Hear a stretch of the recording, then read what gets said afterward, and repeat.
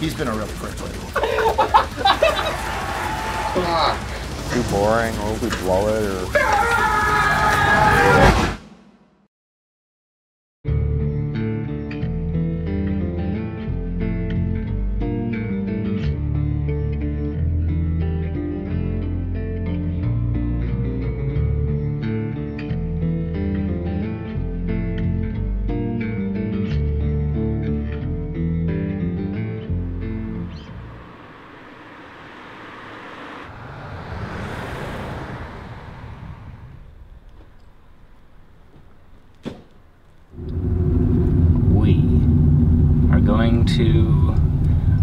Calling it rehearsal but it's not rehearsal. It's like writing. Uh, it's like we all get together in a room and get really frustrated and then hopefully new music comes out. So i guess it's like a writing session. Um, so yeah it's the archspire writing session august 1st 2019 we've actually been writing for quite a while but um, the problem with being in a, a band that wants to we don't really want to work regular jobs. So we have to tour quite a bit and we also like touring a lot. Like i mean it's super fun. So uh, we kind of have to take time out of our writing schedule to, to tour and support the existing music that we have so. But we have written a bunch of stuff. We actually uh, i have ideas uh, that we have worked on dating back to like about this time last year. Right now we have about, I think, two and a half months left until we have to start prepping for a Europe tour that we're doing. So we pretty much have until like early November to write some new stuff. So we definitely won't get the full album done in that time, but hopefully we'll pull out a couple songs. I hope.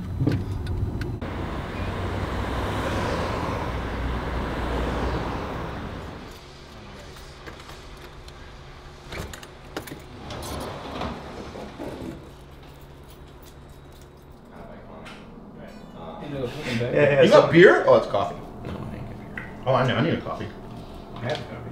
Hmm? You got a co- oh. All right, I'm going to get coffee. I'll be late. Spencer said he's gonna be late. He said he's gonna be early. Yeah. Every day I'm gonna be early. Like, no, you. I'm gonna come in here every day. Every day. Thank you. Okay. Um, oh! Uh, Interesting!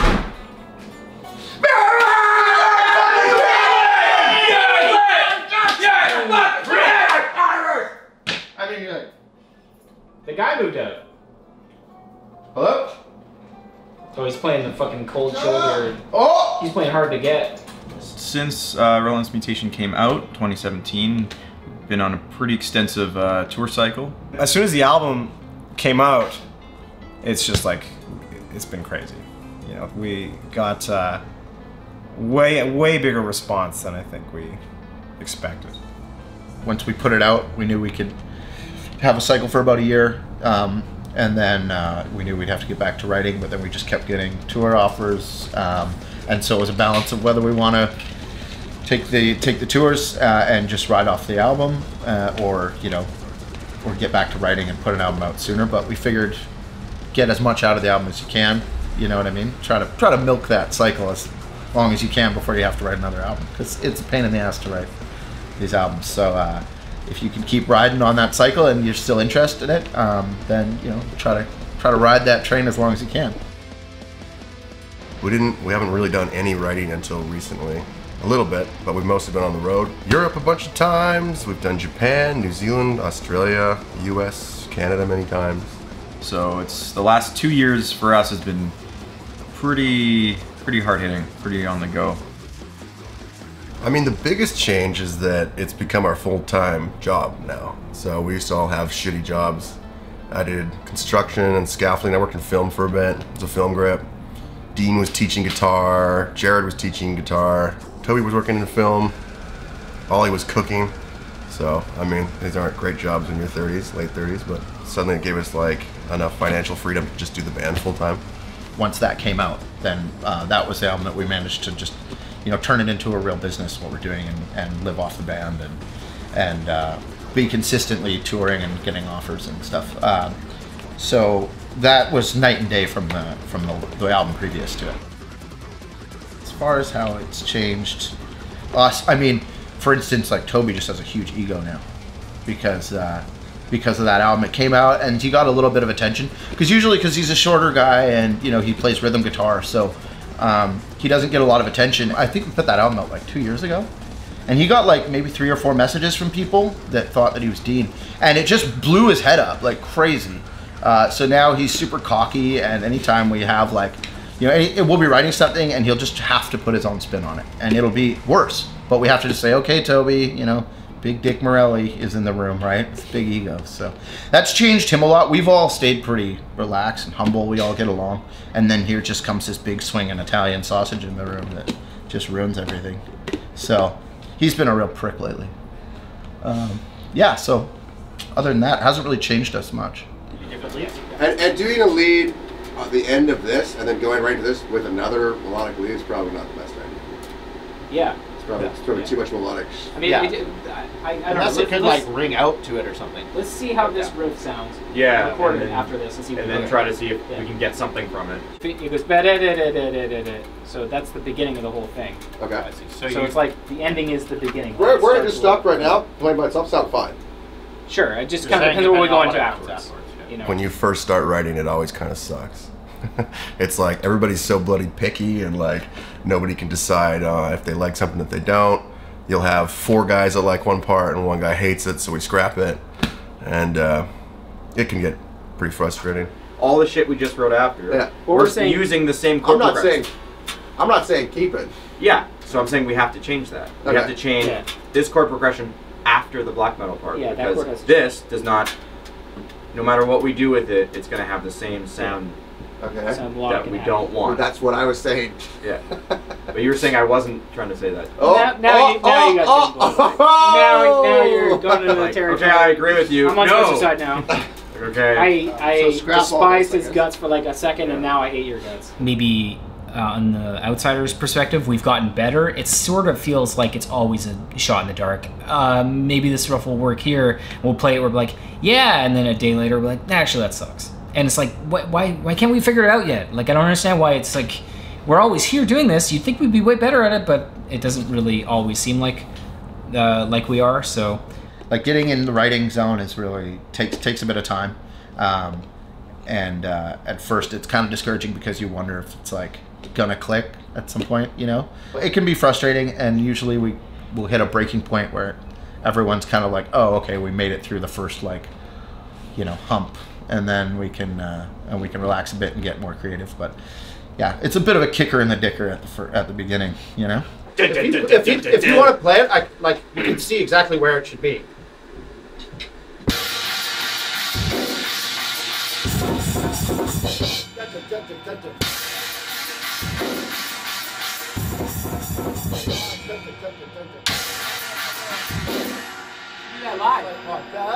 You should do that live and point at it. Oh, that would be sweet, actually. Yeah. No, that'd be guitar, wait, guitar. Yeah, No, yeah, you're guitar, like, you guitar, fuck it up guitar, every guitar, time. Guitar.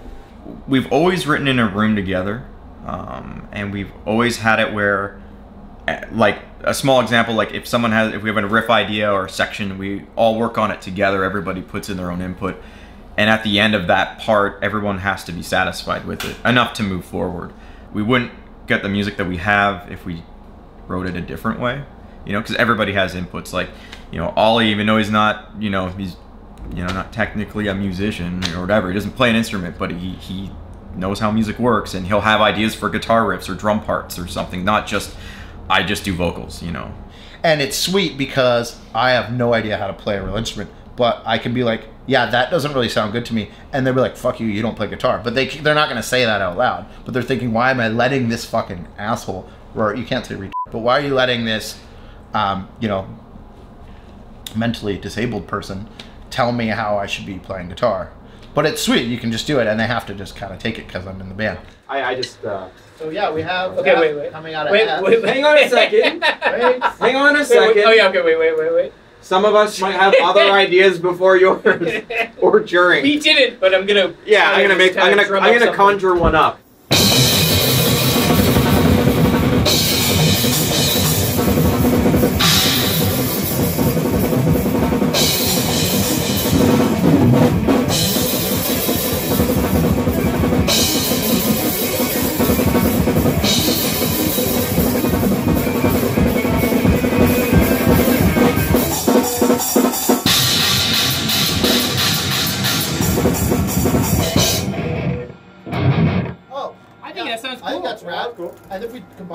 Tobi's idea of the like, No. doing that for the first one, Oh, wait, wait, wait. and then Who else the an second idea? time it stops, have the pause, and then go into the full version of the riff. Who else has an idea? What?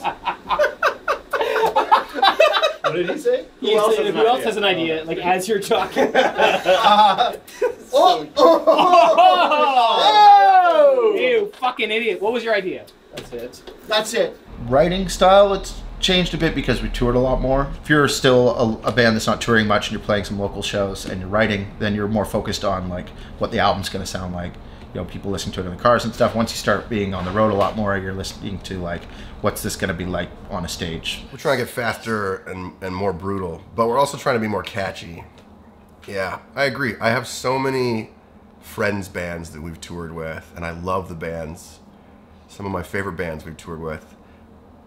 But as they get older, they start trying to pump out almost more chill stuff. And I get it, but I just don't want to go. I fucking would hate to go in that direction. Like I was saying before, it's like we, you can pick what you're best at and develop that. And for, I mean, going fast is one of the, things we're better at. So. I would like to have all the faster parts faster, all the slower, heavy parts slower, the cleaner stuff cleaner, the like everything that it was on the last album and everything that we've done up until now in our discography, just like more of that. So far, we've got a song and a half done, and it's not perfect. It's, you know, but it's it's sounding. They're sound. I like I like the way they're going. It's sounding dope. So I'm sure they'll be sweet. Hopefully. Because I think it sounds cool the way you started. Yeah. That's easy. That's a pretty easy way to switch it up. Because him starting on bass, your bass part for that is bad. Yeah, So- yeah. Doesn't sound cool. Is it bass break? I don't know what the bass part is. I don't know. What is it? It's not good. None of the bass breaks ever sound good because he's not a good player. That's, That's true. also Well, what true. if we hired someone for That's this why we have oh, limited what bass if we just breaks. hired somebody better? Yeah, We could. Yeah. We could make a post right That'd now. make my job easier, actually. Post right- Oh, you'd be fired. I train it. I could train it. Oh, that reminds me. Yeah. I need you to sign this. Yeah. what?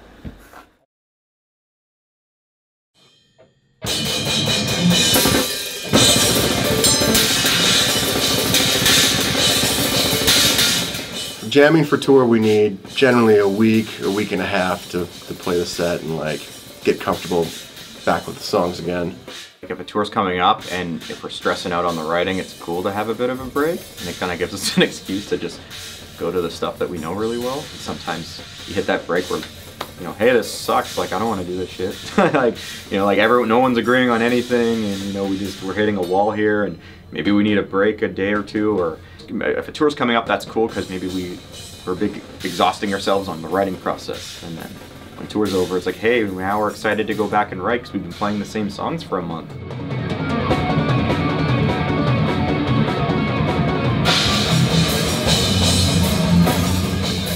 It's an interruption for sure. Yeah, we don't. We never do both at the same time. It's just too much. We don't write it all on the road. We only write here. So if we're gonna go on tour, it's like a week, two weeks before we leave of practicing the set, and then and then we go. we always say tour is boring and life is boring. Not being on tour is boring because you're mostly just sitting around, um, and then you, you know, play for an hour and that's fun. And um, writing is really boring because we're just hanging out in this gross ass room. These are Spencer's disgusting shorts right here, and they reek like they straight up fucking reek. The ass is always cleaner on the other guy or whatever. Like the you know when you're when you're on tour, you're like, man, I can't wait to get home and start writing. And then when you're writing, you're like, oh, it'd be sweet to go out on tour. So we're really just whiny bitches that complain about the pretty okay life that we have, really. All right. One more song. The next train to arrive is for YVR Airport.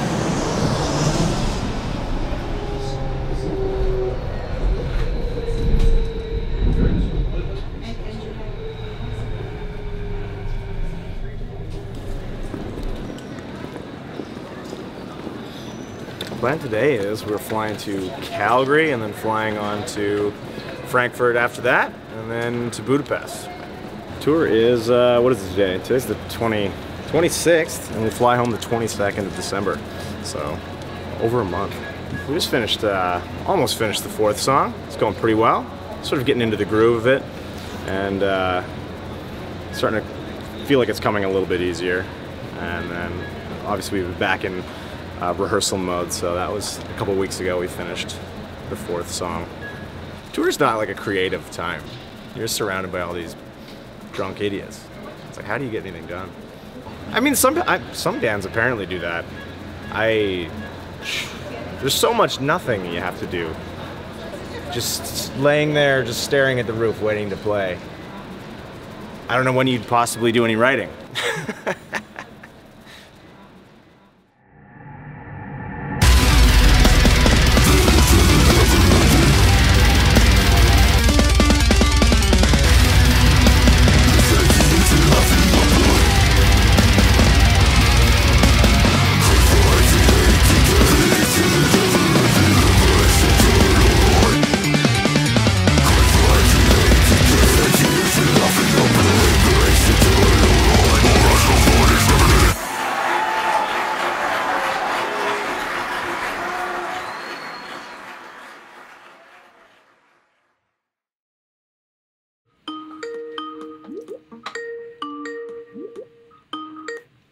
Yeah, well, uh, normally we would be in person uh, in close quarters. We're not right now. We're Skyping because there is a huge worldwide pandemic. We decided to stop jamming so that we could kind of protect ourselves. And then a few days later, you know, kind of in your head, it's like, is this crazy? Like, is this? And then a few days later, everything went into effect officially here.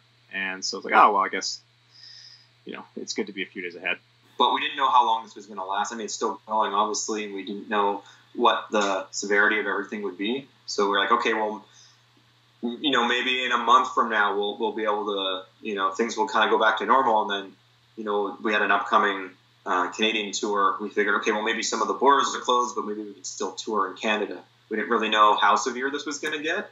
And we've since canceled the upcoming Tech Trek tour that was scheduled for, you know, this week. Uh, we were supposed to be heading out across Canada. We had a potential tour in Australia in the middle of the summer as well. Like four or five tour options that we had in the works that we basically all had to cancel. That's like, yeah, at least six months of work that is gone. That's most of our income as individuals. You know, I would say, you know, eighty percent of my my income is probably from the from touring personally. Touring is like what it, it what really you know, pays our bills and stuff, and like selling merch online is a big part too. But it's not as much as like if we go on tour, it's way more interactive. We we move more um, kind of merchandise live than we do really online in a shorter amount of time. But it's, there's just a lot of unknowns, and uh, you know you can plan everything as, as well as you want, and uh, sometimes things just no matter what you do, it's just not going to play out the way you uh, expected.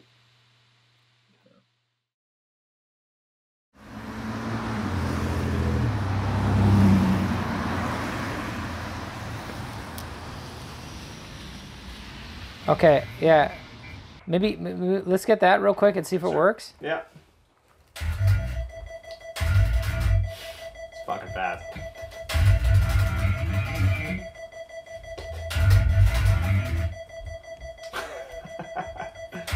we are tracking uh, demos today. We're doing uh, pre-pro and uh, finishing up some of the, the bass tracking for uh, a couple of our songs. Yeah, we uh, ended up having time for an extra song, uh, which is great. It turned out really well, and we wrote it in less time than any of the other songs. So it's nice when it works out like that. Mind if I turn the click down a little bit? Yeah, sure.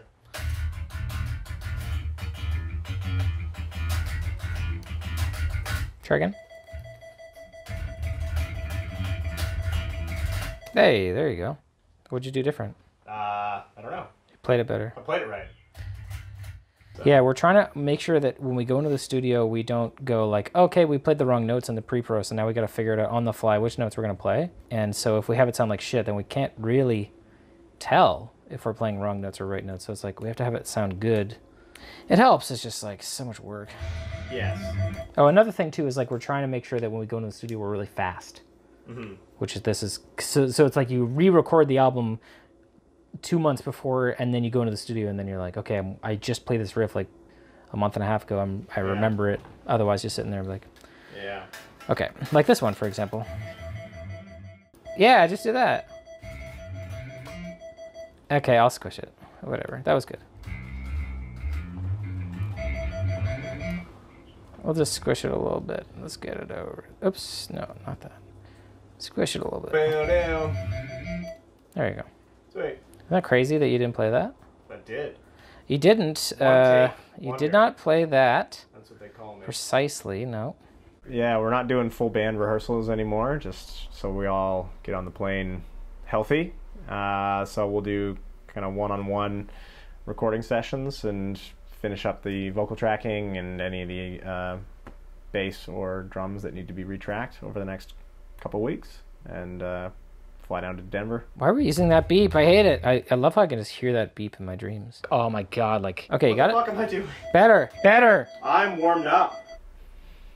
Hopefully, with all of that done, but it's a lot. It's a lot.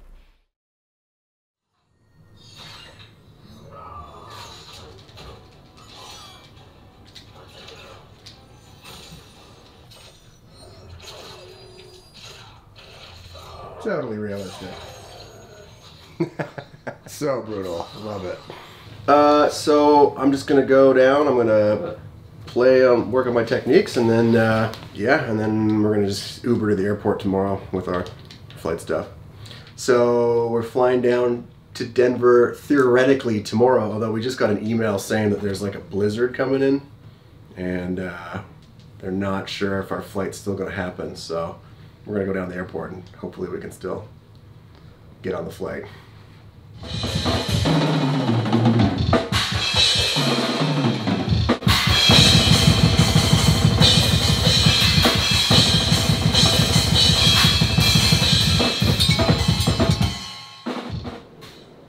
Fuck.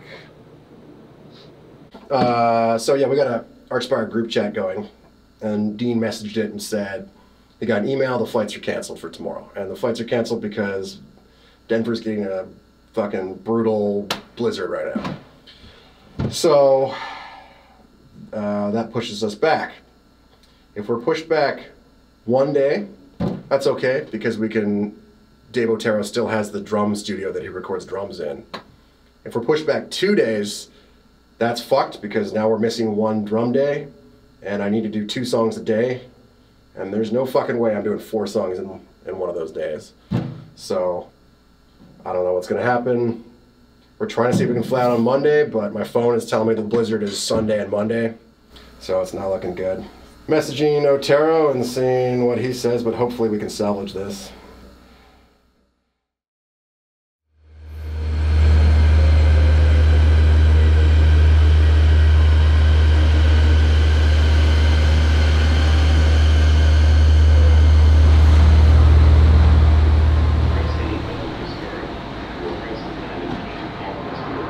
So we're here one day late. Our flight yesterday was canceled due to a fucking blizzard. Actually, yeah, we got an extra two days now to Oh, record. So, yeah, was a little little bit of a nail biter there, but it worked out. So, Uh, we'll be traveling through time at the speed of regular time to Denver. The real time machine. Yeah, it's a real time machine because when we get there, it will be in the future. So we're recording our album in the future. Uh, it's the first time that anyone's ever done that. I mean, we did it last time. We were in the future last time. Well, that's so the, the second past, time anybody's That's ever the done. past now, Yeah, so yeah. it's a little bit different. We're going to Denver to Flatline Audio because Dave is uh, like a hands-on producer that like, hey, change this, or I'll grab the guitar and do this, or well, you should do- try this on drums, and give like real solid ideas. Yeah, I mean, I feel like Dave is just like the right guy. He's, uh, he's handsome, He's handsome. very handsome. Yeah, that's true. Yeah. Well, I guess that's the main. That's the main reason. Also, Spencer looks like a Ninja Turtle right now. He's got a little. He's a turtle. he's a turd hole and a half shell. Um, so this was a pretty good interview. I think this went really Gone well. really well, I think. Yeah.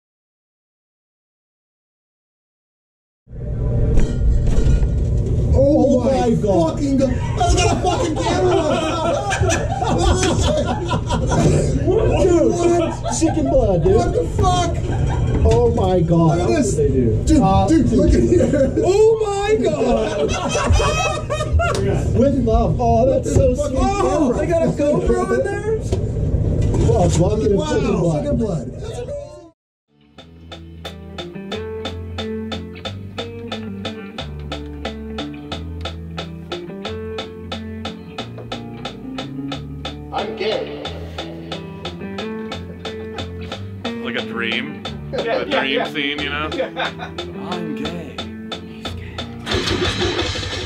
So basically, yeah, I had to cram two songs in a day. It was about nine hour days of recording. I, it felt good. Like I, I felt like I played really well. You know, I practiced a lot before before coming here and getting ready for it, and I made like a bunch of super boring routines for myself, and I feel like those really paid off.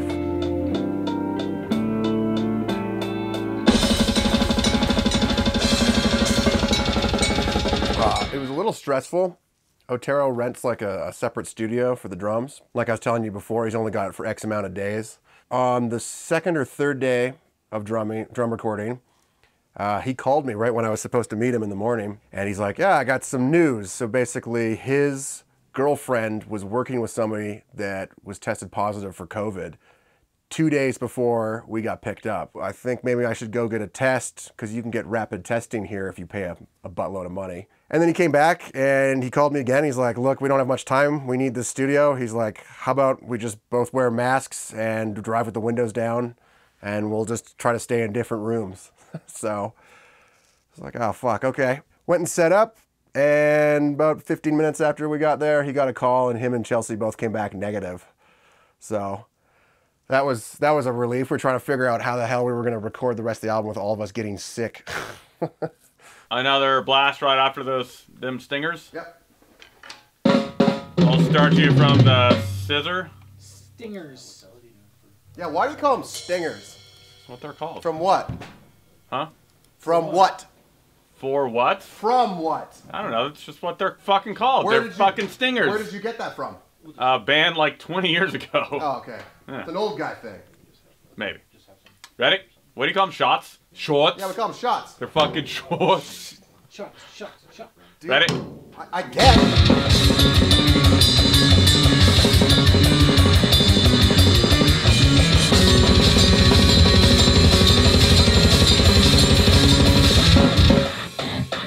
Sounds good. Yeah.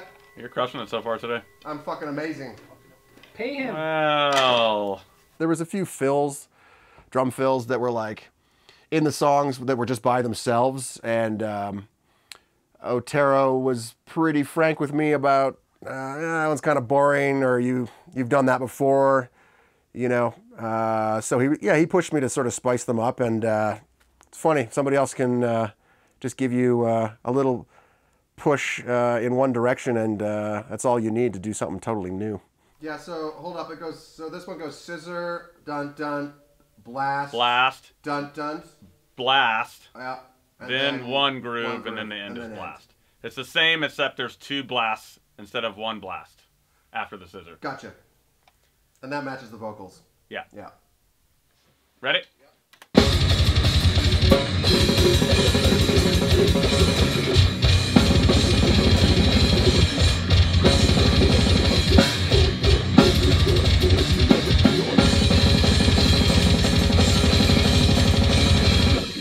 know, nine hours a day playing like super intense drums is it's not good. My uh, my left hand, especially my my index finger, got super swollen. I was getting sharp pains in my right knee and my right shoulder. Pretty sure I tore something. All the muscles in my back and my legs were twitching like crazy. So I was always pushing through the pain, taking taking Advil and you know. But yeah, it's done. I'm glad. sounds really good. It's dope.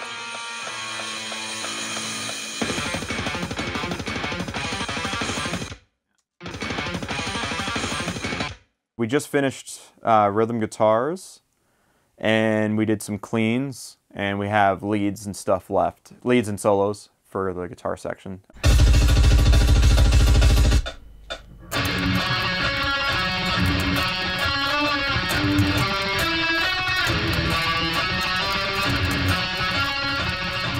Yeah, overall it's going really well. Tobi and I are switching back and forth more than we ever have where we're doing a lot of each other's parts. Tobi, and he'll probably talk about this, has this sort of like classic death metal right hand. You know, he was taking over a lot of the dun dunts, you know, a lot of the really brutal sounding stuff. But we just went part by part, and uh, and yeah, it's it's been pretty cool.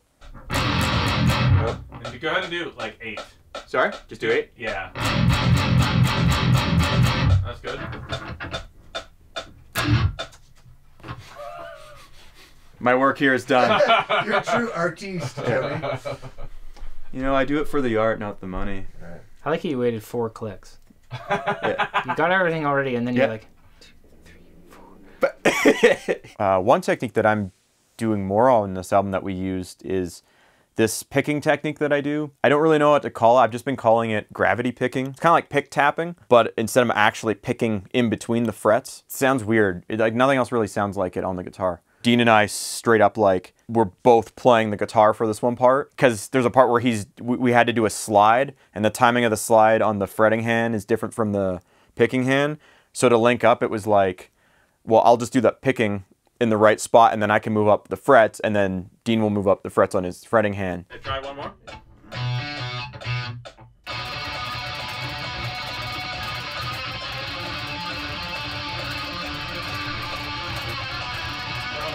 Oh, it's got some really. It sounds really cool when you nail it.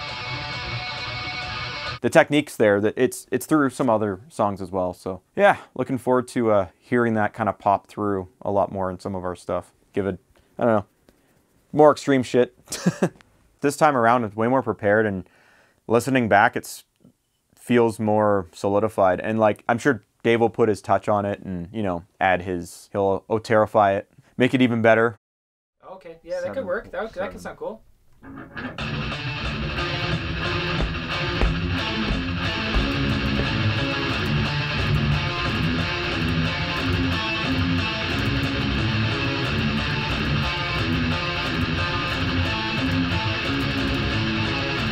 I like that best so far. So far, yeah. You hear that term like the sixth member of the band a lot when it comes to the producer, and it's it's really true. I mean, you have somebody else in the room that you trust musically, the flow, the the arrangement, the songwriting, everything. You trust that person enough to to add to the music, and if you don't leave that room in there for that person, you're not going to have the time to go back and be like, let's change this part and put in Dave's idea. So we didn't want to fill it if you listen to the pre-production, you're going to find it quite a bit emptier than the final product. And the amount that was added from demo to final release, that's what Dave adds, is a huge part, huge part in our songwriting.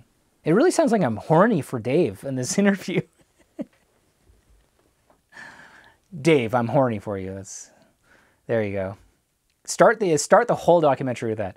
Dave, I am sexually attracted to you, uh, intellectually and physically. So if you want, you know my number. You just give me a call.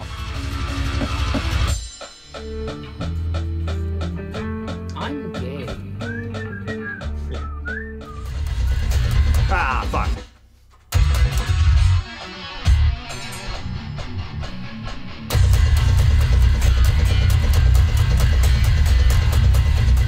Tracking has been sweet. Um, we finished up the base part of it last week in five days. It went really well. Working with Dave is uh, it's a treat. Comes up with really cool ideas on the fly and uh, tracks some pretty crazy shit.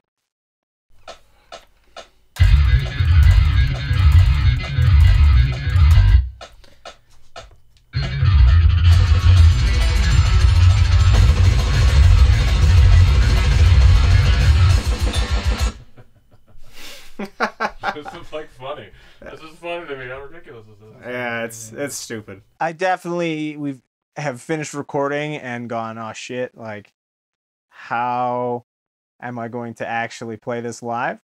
Um because obviously in a studio you can focus on really small pieces and really kind of just focus on the execution of like a small chunk.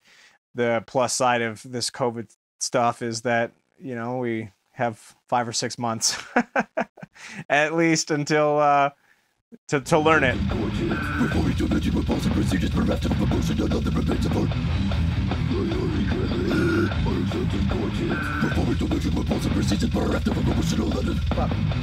Got a little fucking overboard with the roll there. Yeah, sorry, too much roll. The one before that was really sick though. Uh, so that'll probably be the base one, and then I think I want to double the coming halfway through. So okay. I, I had some like fucked up dream a long time ago, or not a long time ago, but a while ago, that like fucking people started giving birth to shit that wasn't human. And they were like these kind of like ancient reptilian fucking alien things. They detach their jaws and open their mouths up and bite the inside of their mouth. And their mouths fill with this pool of like liquid gold. And then when the people look into the gold, they can see into their future. And I was like, woke up being like, that's fucked up shit. Um, so I just started writing about that. And then it kind of became a metaphor for the dangers of giving birth, of childbirth, because you don't know if you're going to birth a pedophile or a serial killer. And it's this incredibly uh, selfish endeavor uh, that's it, that's risky as fuck. You have no idea what the fuck's going to come out of your body. So and and it's because it benefits them. You know, it fulfills this need. So I was like, well, what if it was a fucking monster, like literally a monster, and but it fulfilled this need. So I went with that, and it is a concept album, so all the songs are about that from different perspectives. So I got in the mindset of what I feel like it would be uh, to be a pregnant woman uh, gonna give birth to a fucking serpent.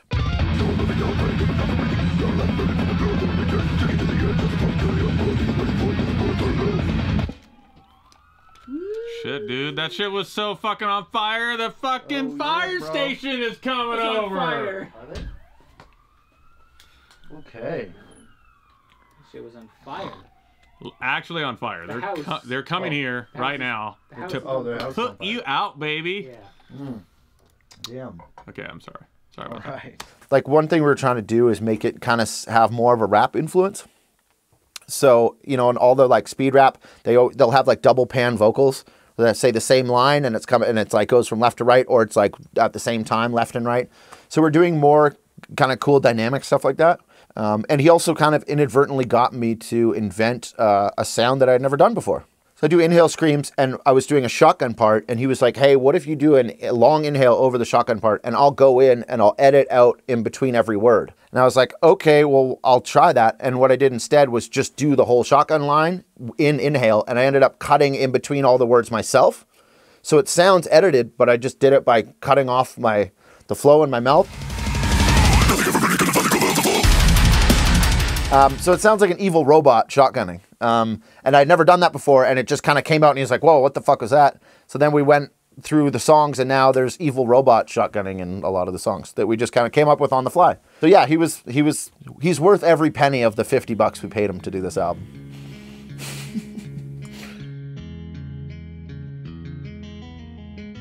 I think in the beginning, yeah, we were worried like, oh, I don't know if it's gonna be as good. What if the songs are as rad, or like, what if it's too boring, or if we blow it, or who knows? But like, starting to hear this stuff, just not even finished, and just having the changes that we have made, yeah, it's sounding.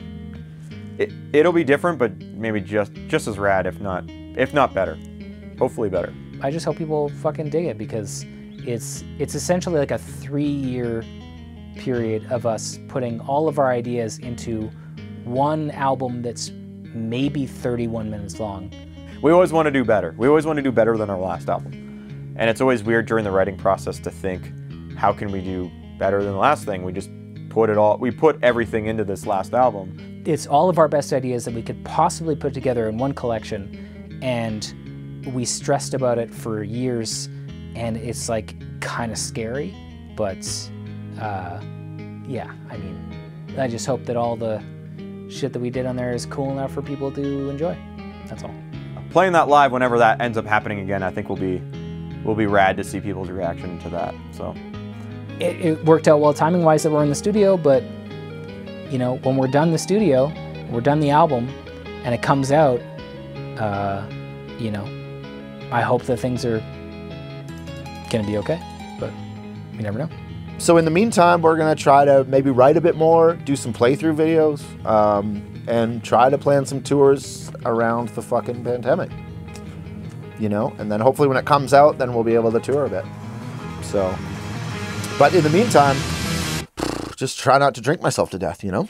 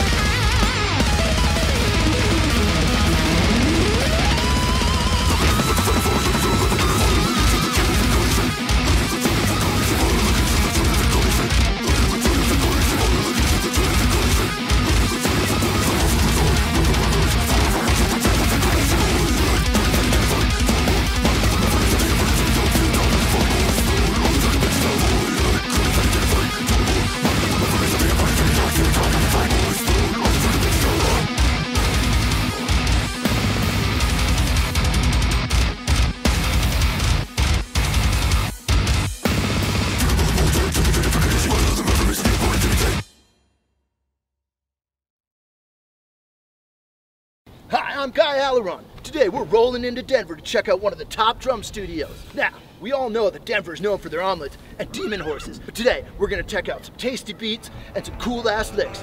Let's go! Oh yeah. And it gets really fucking cold in here, so oh, we've got these drum jackets. Those are big turtle shells. You look like an upside down can of tuna. Nice. There you go. So that's really handy for recording. That's your warm up. Yeah. He tries to tailor it more to the actual band. It's not like everyone sounds the same. That's another big reason why we wanted to go with him. And his hairline. His hairline's pretty hot. You didn't even ask me a fucking single question about this mustache. Dean's looking like a white Steve Harvey. Thanks, bud. Go! I want to skip songs. I don't want to play them. Go! I don't want to play them Okay, anymore. what songs are we really good at? Well, we play. I don't want to play. I know, right I have Tobi to gets go. to come up with the names because he wrote the riff. that's how it works. Oh, Tobi has to come up with a name. Yeah, okay, what do you think of Tobi? Something like always a cool, cool guy. We've got some uh, wet ones. Deodorant, so you don't reek. You know, eating lots of shitty food. You need this for heartburn. Razors, super important, right? If you want to drum really fast, you can't have any hair from your neck down. This is not my policy. Dave Otero made this policy. He's secretly your favorite guy in the band. Holy shit, you're almost gonna hit him in the head. What's the name of the riff? Call it Butthole Troll. Butthole Troll. Plus, How about Butthole Troll. sloppy jalopy? Colgate, Colgate milkshake. Putting up with everybody's bad moods for headaches and shit like that. Mouthwash is very important because we're going to be kissing. Our girlfriends aren't there. How about primetime slime? Primetime slime. I like good. anything with slime in it. Primetime, primetime slime is good. Wacky Balsaki is pretty good because it's a wacky riff. Wacky Balsaki. Wacky Balsaki. That's I don't know how you'd spell that because I don't know how to spell, but that sounds wacky. All right, well that's it then. That's a bad name.